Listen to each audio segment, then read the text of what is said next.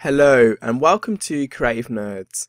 Today's screencast we'll be looking at how you can create multiple artboards using Photoshop, similar to what you can do in both InDesign and Illustrator. So let's start off by selecting File, New, and we're going to create a new document and we're going to ensure that the artboards checkbox is ticked and then select create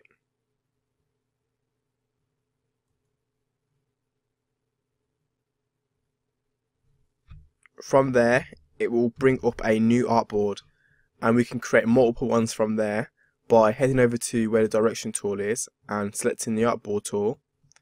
And from there we can add new artboards and we can change the size so it's smaller if we wanted it to be smaller.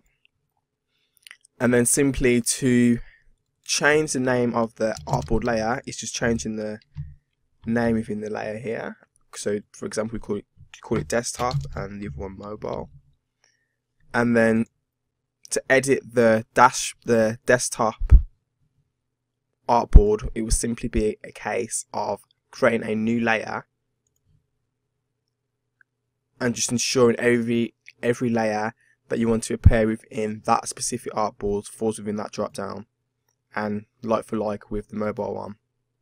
So it's as simple as that to create artboards using Photoshop CC. Thanks for watching and stay tuned to Creative Nerds for further quick tips on how to use Photoshop.